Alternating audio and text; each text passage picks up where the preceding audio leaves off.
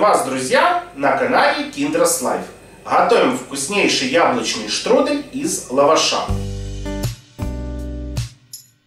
Это очень простой и быстрый рецепт, когда хочется чего-нибудь сладенького, кофе или чаю, а самое главное, не надо возиться с тестом. Готовить штрудель с яблоками из лаваша очень-очень просто. Давайте начинать. Для приготовления нам понадобятся следующие ингредиенты. Во-первых, лаваш. Лаваш покупаете готовый прямоугольной формы. Также нам надо будут яблоки. Яблоки берете по своему вкусу. Это могут быть красные яблоки, как у меня, могут быть зеленые яблоки. Главное, чтобы яблочки были кисло-сладенькие. Тогда штрудель получится очень-очень вкусный. Еще нам необходим будет изюм. Я взял горсть изюма и предварительно его замочил теплой воде. А еще нам надо будет одно яйцо, немножко молока, грамм 50. Также нам надо будет сахар и корица. Корицу э, берем молотую. А также нам надо будет масло. Во-первых, растительное, чтобы смазать форму для выпекания. И сливочное масло. Сливочное масло нам надо будет для того, чтобы обжарить на нем яблоки. Будет очень вкусно. Процесс приготовления начинаем с того, что займемся подготовкой яблок. Их для начала почистим и нарежем кубиками. Выпечка с яблоками всегда очень вкусная. У меня на канале есть рецепт, как быстро и вкусно приготовить шарлотку с яблоками. Рекомендую посмотреть. А вы не забывайте ставить лайк и подписываться на мой канал. Мне важна ваша поддержка. Благодарю!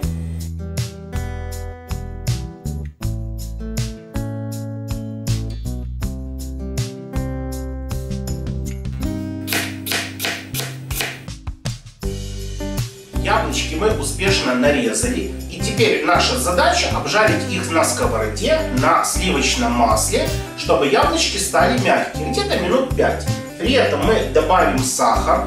А, на 5 яблок я беру 3 столовые ложки сахара и пол чайной ложечки корицы. Вы сахар добавляете по своему вкусу.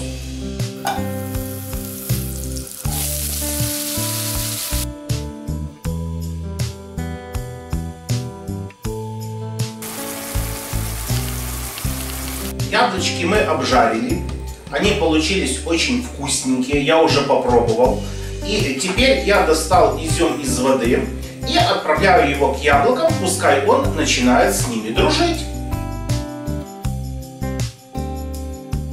Процесс налаживания дружеских отношений проходит успешно. А мы тем временем переходим к следующему этапу подготовительных работ.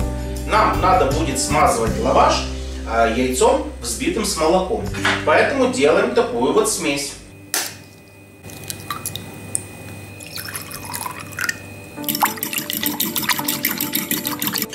Смесь яйца с молоком необходима для того, чтобы мы смогли промазать лаваш, и он в процессе выпекания в духовке не был сухой. Его надо обязательно будет промазать. Смесь готова и достаем лавашек. Лаваш мы берем прямоугольной формы и хорошенько смазываем его по всему периметру.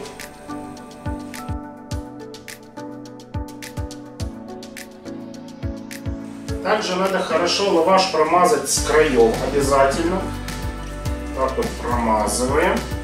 После того, как мы лаваш промазали, по всему периметру выкладываем начинку. Единственное маленькое но от края оставляем пару сантиметров, где-то сантиметра 3.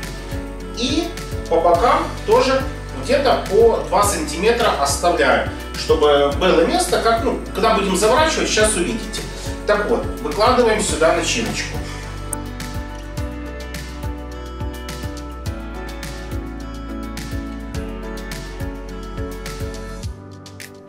Вот такая вот у меня получилась заготовка. Как вы видите, яблочки я аккуратненько, ровненько распределил по всему периметру. При этом и справа, и слева у меня пустое место.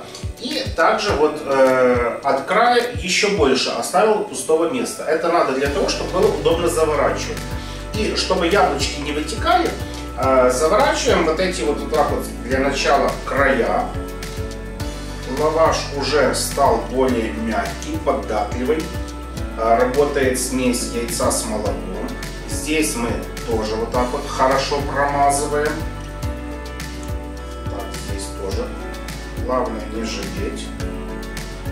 Аккуратненько. Оно пропитается и будет очень вкусно. Эти края хорошенько-хорошенько промазываем.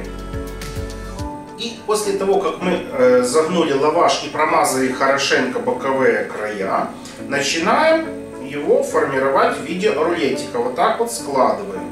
При этом, вот я где-то делаю сантиметра 4, может быть 5, завернул. И вот этот вот слой опять промазываю смесью яйца с молоком. Хорошенько промазал. И снова заворачиваю. Завернул. И опять промазал. Красота. Лаваш мы успешно завернули. И пока он чуть-чуть отдыхает, возьмем, смажем растительным маслом пергаментную бумагу. Дека мы подготовили с пергаментом. Лаваш мы завернули. При этом у нас сверху, как вы видите, да, вот э, есть такая более толстая сторона, второй слой. И мы вот этим выкладываем на дно. Лаваш мы переложили на подготовленное деко. И сверху тоже смазываем хорошенько смесью яйца с молоком. Получается снизу у нас будет более толстое основание лаваша за счет того, что мы его завернули.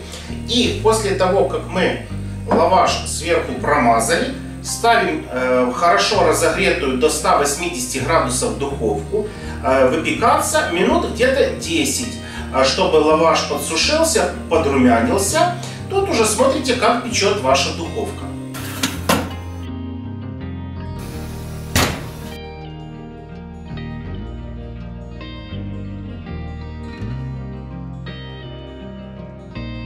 Штрудель с яблоками из лаваша готов. Получился очень красивый. Сверху я его притрусил сахарной пудрой. Давайте попробуем, какой же он на вкус. Выглядит потрясающий, на разрезе просто шикарный. Пробуем.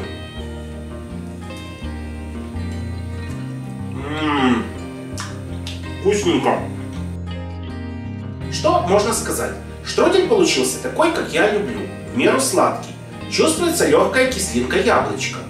Изюм придал свои нотки вкуса. Тесто лаваша тонкое и нежное. Очень вкусный штрудель. Советую вам попробовать приготовить по этому рецепту хотя бы один раз. Понравилось видео? Ставьте лайк, подписывайтесь на мой канал, делитесь этим рецептом с друзьями, готовьте сами. А я для вас буду снимать еще больше вкусных и интересных видео. Это не штрудель, это шаурма с яблоками.